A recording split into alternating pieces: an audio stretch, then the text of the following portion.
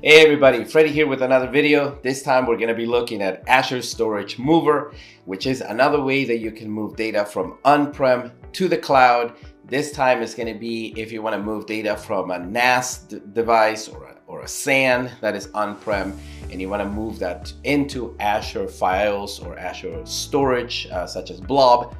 So this is another way of moving data. This is a great way to move data from a NAS device or a SAN device into Azure.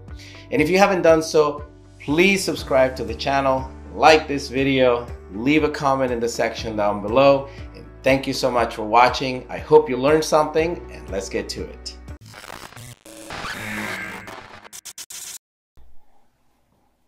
All right, so let's go ahead and get started. Um, the first thing we're going to talk about is we're going to talk about what Azure Storage Mover is, getting to know it, the service vision, and then we're going to jump into the demo.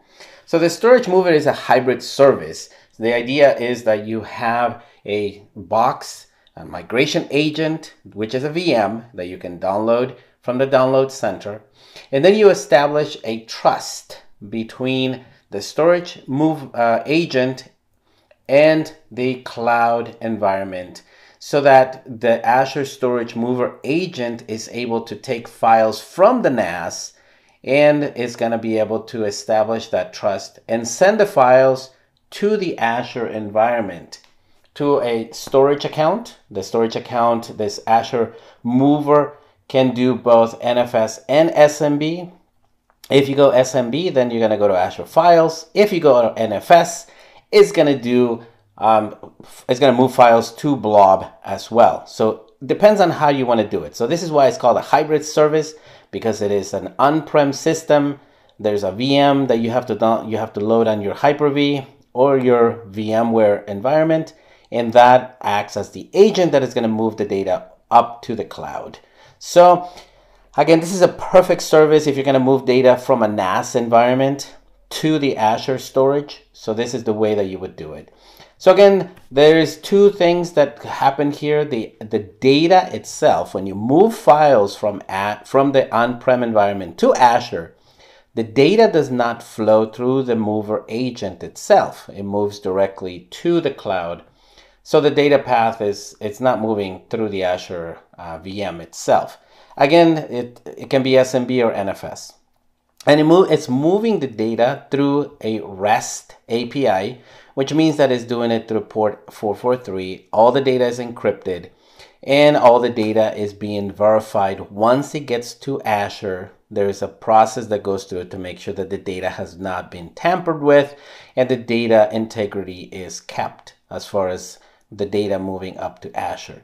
So this is one of the things that is very nice because it is going to do what is um, what I would consider the, the equivalent of an MD5 hash of the data once it gets moved up to Azure, which is great. Uh, regional independence, which means that one agent can pretty much, um, you know, one storage mover can manage multiple agents in different locations.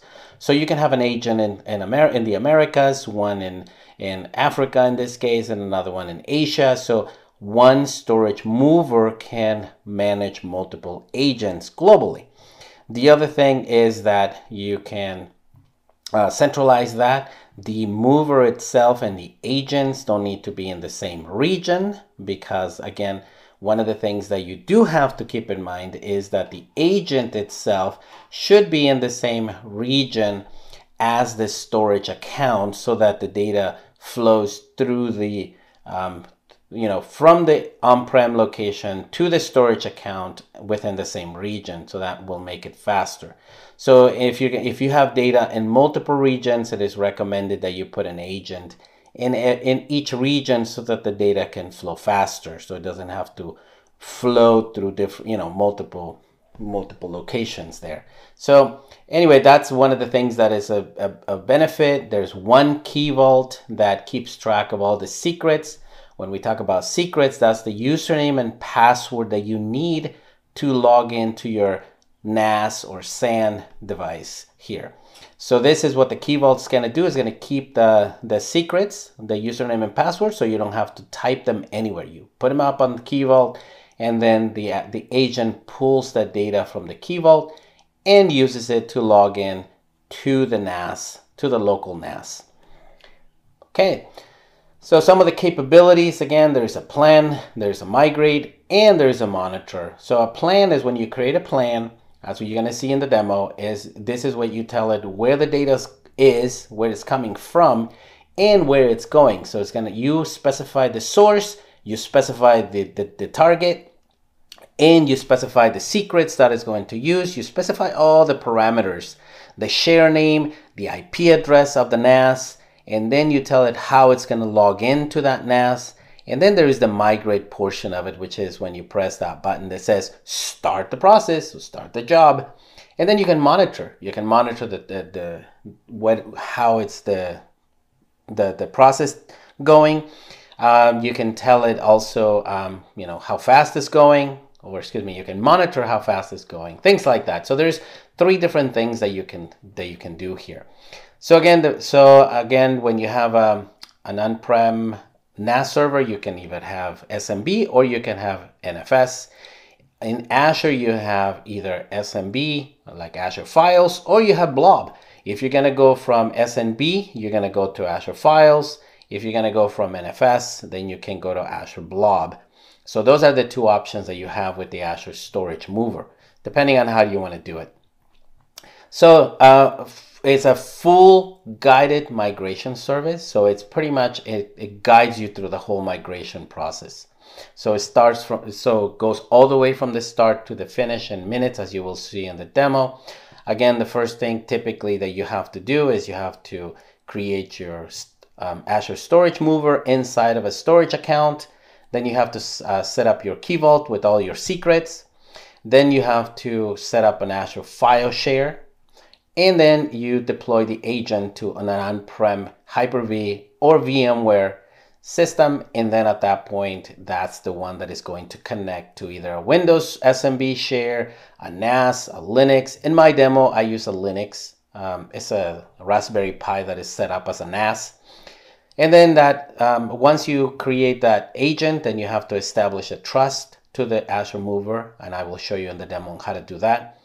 So that's pretty much it. Then once you do that, then going back to this, then you go to the migration, where is you specify all the parameters. And number four is you run the, the job. And then at that point, you can monitor the migration to see how it's going. So let's go ahead and jump into the demo at this point. Once your storage account is created, go, go to the resource itself, and then you have this option called Storage Mover on this side. Click on that, and then create a new storage mover.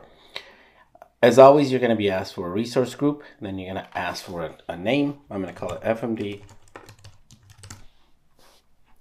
Um, one of the things to keep in mind here is the this option here. A storage mover can be deployed in any region without affecting the migration speed.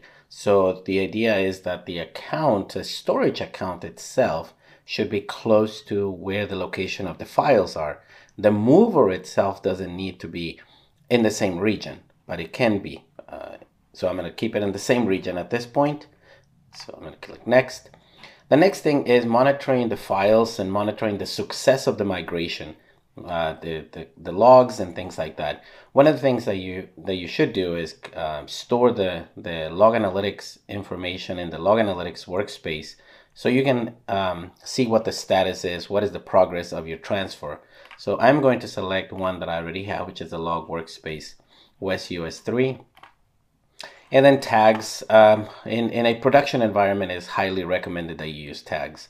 In this case, I'm not going to use tags because this is a, a, lab environment. So click next. And once this is uh, confirmed or validated, then you can just create it. Once it is created, click on go to resource. And in this, uh, this case here, we're going to register an agent. So I'm going to go ahead and click on this register agent. Once you click on register agents, you can click on download the VM. So you have the options of downloading um, different different versions. I have Hyper-V, so I'm going to download the Hyper-V. That'll take some time, so I'm going to stop the video and I will come back when it's downloaded. One of the things that we need to look at is the requirements. Right here says if you have 1 million items, you should have 8 gigabytes of RAM and four cores if you have 10 million items. So it depends on how many items you will have, meaning how many files you will be migrating. Um, I'm going to have uh, less than 10 million, so I'm just going to set it up for 8 gigs of RAM. Okay, now that it has been downloaded, then we're going to go to our Hyper-V um, manager and we are going to cre create a new virtual machine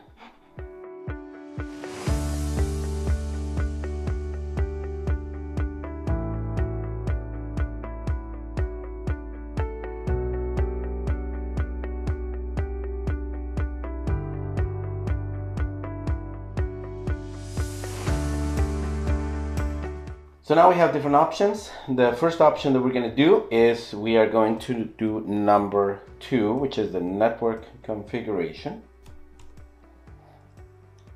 This just tells us that there is a connection up to Azure and that is able to get to all the places that it needs to get to.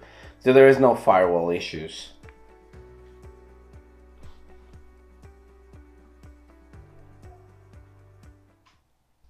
We'll go to number four, which is quit, now that we have checked the network configuration. The next option is going to be register. So we need to register this, um, this agent with, with a storage account.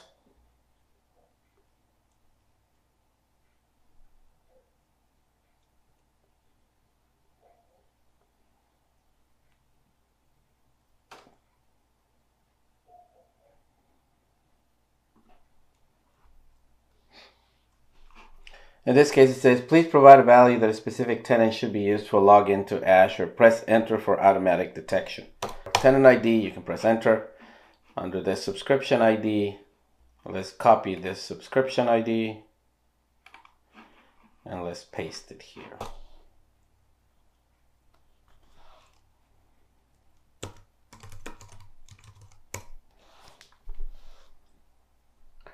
I'm going to use the same resource group name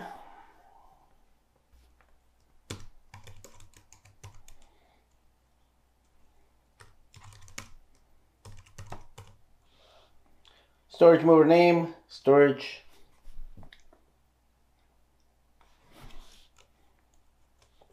FMD storage mover. Agent name. In this case, you can call whatever you want, but uh, usually location works well if you're going to have multiple. LAX. Just for Los Angeles uh, the airport code. Uh, there's not going to be any private link, so enter.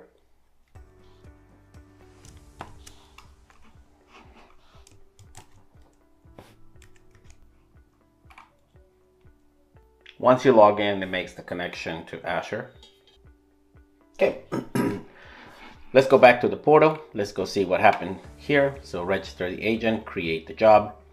So the next thing is, um, let's go ahead and look at the registered agents. Storage, storage agent LAX. Okay, next thing is create a project. Create a new project. File transfer FMD.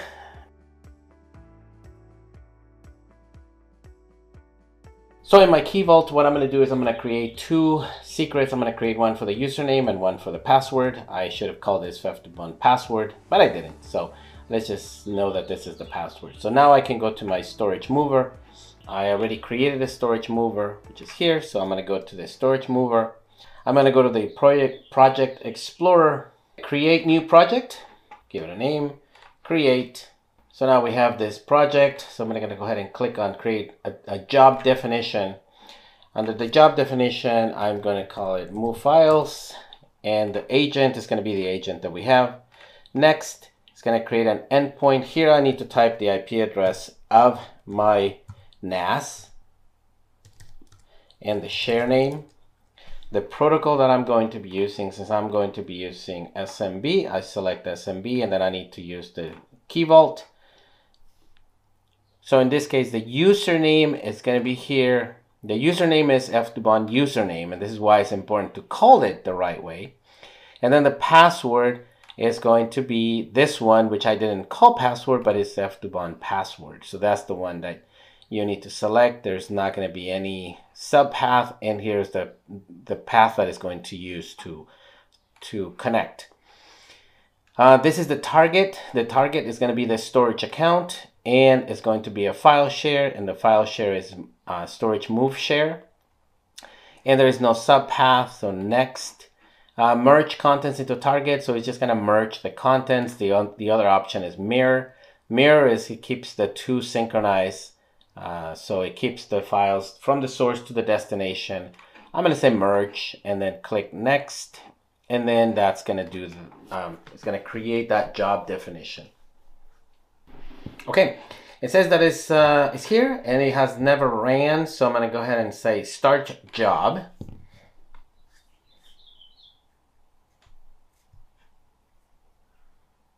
Okay, so we'll give it a second. What is happening at the box itself?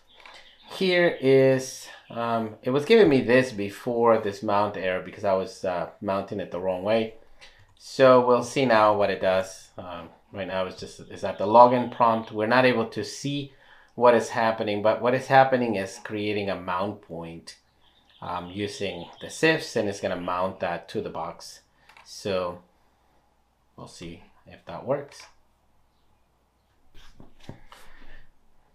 Well, that does whatever it needs to do. Let's go ahead and go to our storage account and let's look at the file share. What is happening when at the file share level?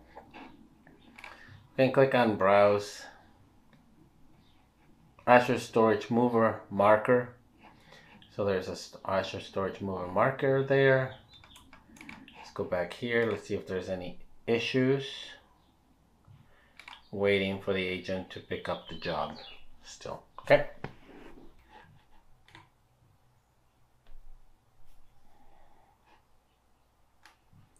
Okay success. So now we have it says that that it worked and that it discovered a thousand files which is exactly what we have. So now if we look at the uh,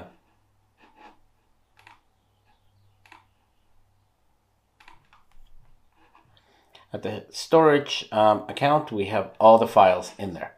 So thank you so much for staying until the end of the video. As you can see, Azure Storage Mover is just another service that allows you to move data into the cloud in a way that allows you to take data from an on-prem device such as NAS or a SAN and move it into Azure. I hope you learned something. I hope you enjoyed this video. And if there's any questions, any comments that you might have, please leave them in the comment section down below. I'll be happy to respond to your to your comments. And thank you so much for watching, and I'll see you on the next one.